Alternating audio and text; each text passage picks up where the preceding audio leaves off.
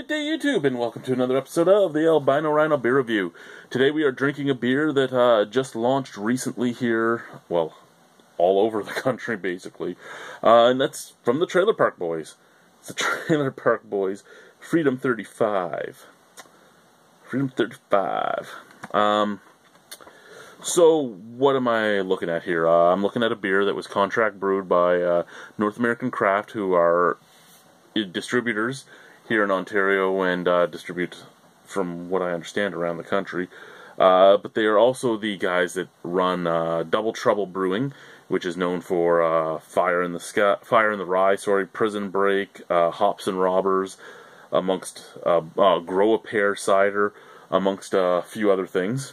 and Paul Dickey did the Paul Dickey did the did the recipe for this beer. If you don't know who Paul Dickey is, he he's a revered brewmaster here in Ontario. He ran uh, uh, I can't I can never say it right. Uh, Chester Chesterfordshire uh, Valley, um, and makes up he, a lot of breweries that start up here have him as their as a guy that helps them in their first few uh, first few things. Arch Brewing coming to uh, coming to mind and stuff like that. Uh, brewed at Wellington. Now, uh, I have seen a lot of talk on uh, some chat boards in Nova Scotia and New Brunswick in the Maritimes about why this wasn't made in the Maritimes, why it wasn't made in a Nova Scotia brewery, because on the show, you know, the, they, they drink a lot of propeller and stuff. Why wouldn't they use a, a, a more uh, local type of brewery? Well, I, I, I think uh, this is a big brand now. I mean, the Trailer Park Boys are a national brand. Uh, I think they were probably looking. I, I mean, I'm not trying to put words in their mouth, but I, I would assume that they were looking for a more, a more central location. And I mean, yeah, Ontario, Guelph, Ontario is only about. Uh, well, how long did it take Nick to drive here? 18 hours? Only like 18 hours difference via vehicle from Nova Scotia, New Brunswick.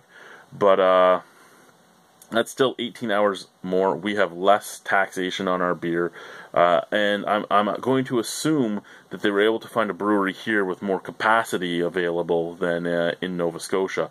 Not that I think that uh, that there's breweries here that aren't near full capacity, but if you have not been to Wellington and seen their gigantic fermenters that are like three and a half stories high, uh, yeah, they have they have some extra uh, capacity. Uh, so, Freedom 35, I guess we should get into this. We've talked way too much. I turned off this light because it makes this camera turn me into a yellow thing. It doesn't like the uh, the fluorescent light, so I'm going to try and read this. I am legally blind for anyone that's new to the channel, so uh, forgive me while I go like this because I can't read shit. I'm going to put my... Oh yeah, shameless plug. Albino Rhino Beer Festival, May 27, 2017 from 11 a.m. till 7 p.m. at 209 Ridge Road North, Ridgeway, Ontario. 40 craft breweries from here in Ontario, 12 food vendors. All my proceeds go to the Ronald McDonald House of South Central Ontario, which used to be uh, Hamilton, Ontario. Uh, wouldn't it be great if Bubbles and them would come? I know they're not going to, but wouldn't that be awesome? You could come help raise some money for. Yeah, you guys wouldn't do it. Uh, anyway, uh, 5% alcohol. There's a lot of writing on here, but as I said, I'm blind, so uh, keep your beer cold. It's it's not cold. I don't drink my beer cold, so uh, it's a better test for you guys. Is there faults in the beer that I can pick up? Brewed by North American Craft Importers Inc., Guelph, Ontario, product of Canada. Water, barley malt, hops, wheat flakes, and yeast. I wouldn't have uh, I wouldn't have expected wheat flakes in here. I'm going to say all I'm expecting out of this beer is for it to be decent, and I would say decent in a Bubbles voice, but Mike Smith does it so much better than I could ever do. Uh, got a lot of guys at my work can do it really well. I can't. I'm going to put it in this really fancy glass though, because I mean, why not, right? You want a fancy glass for a decent beer. It makes a decent beer even more decent.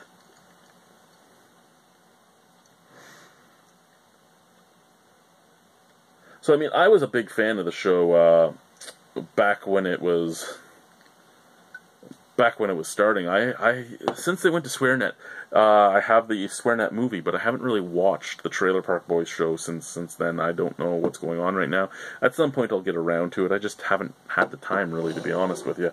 Um, but they they've gone huge. I mean, they have their own whiskey brand, which uh, Kathleen Wynne and a few other people tried to keep out of Ontario. It Didn't happen. Uh, they they've made themselves into something huge, and I mean you can't fault them on that.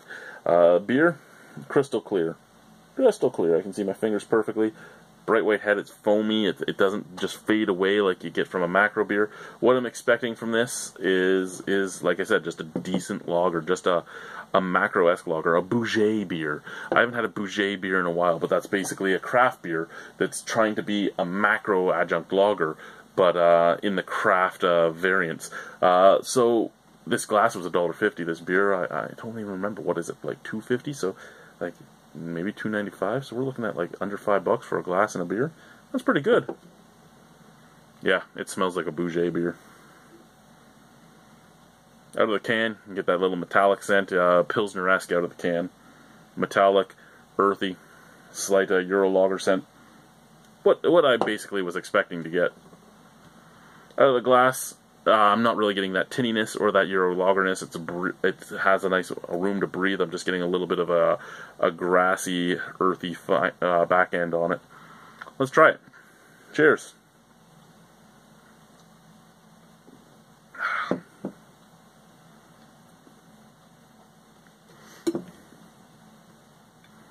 Okay.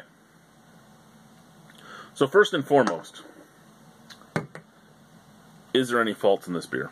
None. And I mean,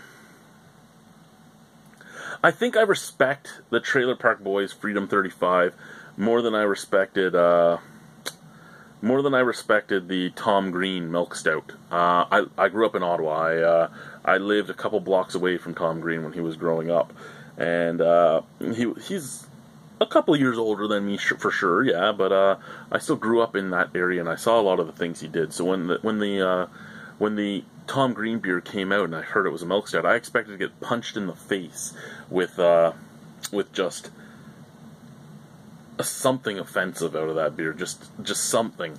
But it was the most down to earth, down to earth. Uh, pleasurable pass around anybody type of milk stout. It had it wasn't in your face at all. It didn't have any glaring flavors or anything like that. This is a lot like that. It's it's very simple. It's very subtle.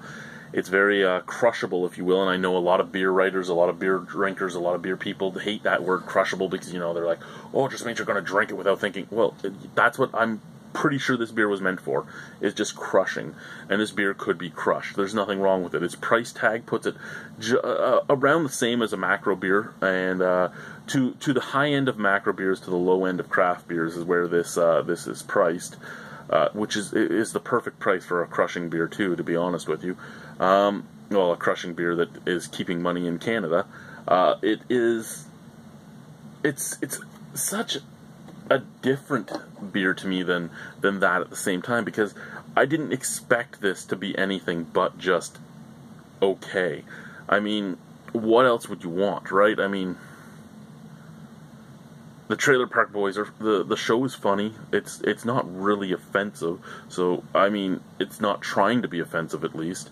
It's it's trying to be tongue in cheek a lot of the time and they they succeed at it. They have some great characters with some great uh, great stuff going on, and this beer I would expect to kind of be just like that, just an easy to go to beer. And I know there's a lot of people in the beer industry too that hate the show. That's fine. You you don't have to like the show. I'm getting older now. I don't like it as much as I used to. I still like the show. I don't mind this beer. Is it because I like the show? No, it's not because I like the show. Because really, I, I want to hate this beer because I want to make fun of it. No, I don't. I don't even give a shit, to be honest with you. It's a drinkable beer.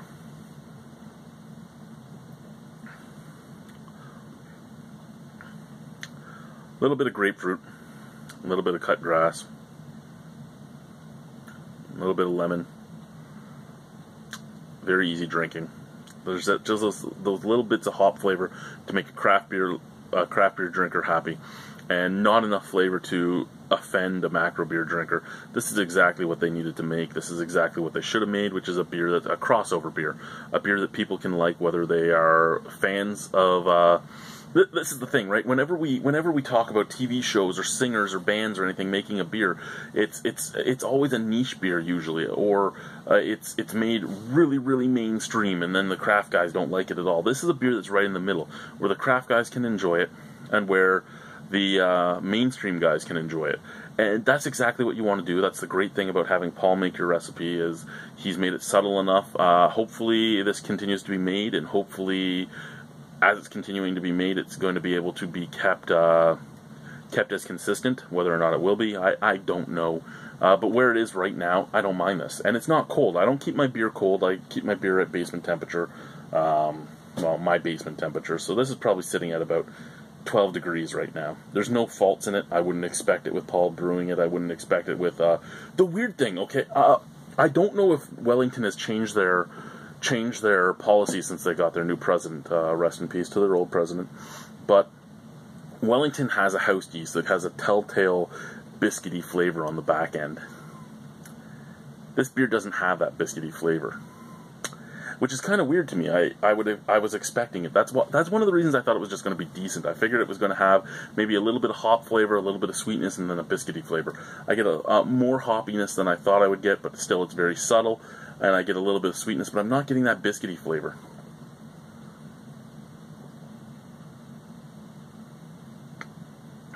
Nice effervescence, nice beer. You know what? I'll give it a 7 out of 10. I would buy this again. It's a very decent beer. You get this cold, you could put this back all the time. Thank you guys for watching. That was uh, Trailer Park Boys trailer. Well, the Freedom 35 Trailer Park Lager. Trailer Park Boys Lager. From the heart of the park. Bye, guys. Oh, revoir.